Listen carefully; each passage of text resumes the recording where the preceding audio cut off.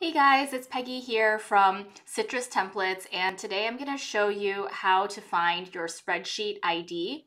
Um, so sometimes you're going to need this uh, to make sure that the spreadsheet links work, um, and it's pretty simple. All you all you have to do is go up to um, the the web browser, your web uh, address here, and copy everything after this D slash. So starting with this like one IAZ. So you just kind of come up here um, and copy everything uh, right after this. So copy that entire thing.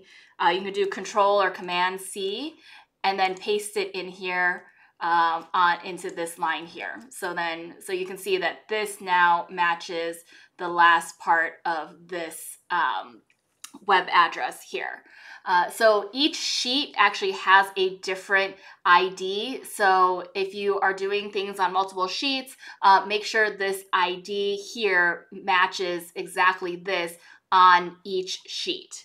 Uh, let me know if you have any questions. Thanks.